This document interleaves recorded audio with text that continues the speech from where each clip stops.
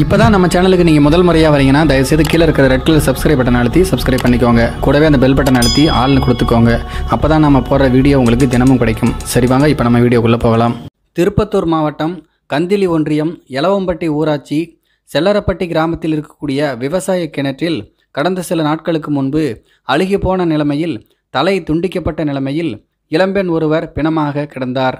அவருடைய உடல் பிரேத பரிசோதனைக்காக அரசு மருத்துவமனைக்கு அனுப்பி வைக்கப்பட்டது. இது தொடர்பாக தனிப்படை அமைத்து விசாரணை நடத்தி வந்தனர்.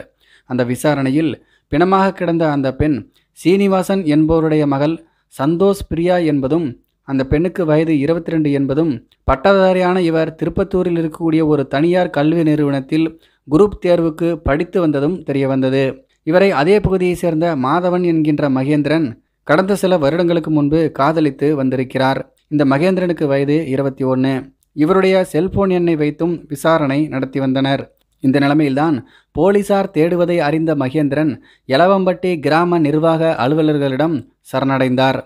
அதில் மகேந்திரன் சொன்ன தகவல் என்னவென்றால் ஆன்லைனில் வரக்கூடிய பொருட்களை வீடுகளுக்கு நேரில் சென்று டெலிவரி செய்யும் வேலை செய்து வந்தேன். கடந்த ஐந்து வருடங்களுக்கு முன்பு சந்தோஷ் பிரியாவை காதலித்தேன்.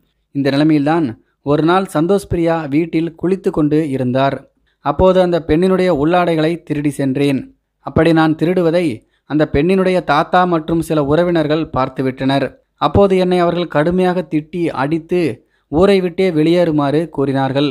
இதனால் பயந்து போன நான் பெங்களூருக்கு சென்று அங்கே பணிபுரிந்து வந்தேன். அதன் பிறகு இங்கு வந்து ஒரு துணிக்கடையில் வேலை பார்த்து வந்தேன். சந்தோஷ் பிரியாவை எப்படியாவது அடைந்து விட வேண்டும் என்று எனக்குள் ஆசை ஏற்பட்டது. சம்பவத்தன்று நான் மோட்டார் சைக்கிளில் செல்லரப்பட்டி அருகே சென்று கொண்டிருந்தேன். அப்போது சந்தோஷ் பிரியா அங்கே நடந்து சென்று கொண்டிருந்தார். அப்போது சந்தோஷ் பிரியாவிடம் வண்டியில் உட்காரு உன்னை கொண்டு போய் விட்டு விடுகிறேன் என்று கூறி வண்டியில் ஏற சொன்னேன்.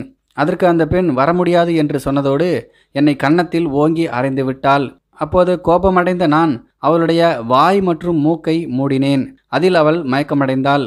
உடனடியாக அவளை பக்கத்தில் இருக்கக்கூடிய காட்டுப்பகுதிக்கு தூக்கி சென்று கற்பழித்தேன். கற்பழித்து முடித்ததும் அவளுடைய கழுத்தை என்னுடைய கைகளால் இறுக்கி மற்றும் காலால் மிதித்து அவளை கொலை செய்தேன். அதன் பிறகு அந்த பிணத்தை அருகில் இருக்கக்கூடிய கிணற்றில் வீசிவிட்டு சென்று விட்டேன் ஒரு மாதம் ஆகியும் யாருக்கும் சந்தேகம் ஏற்படவில்லை.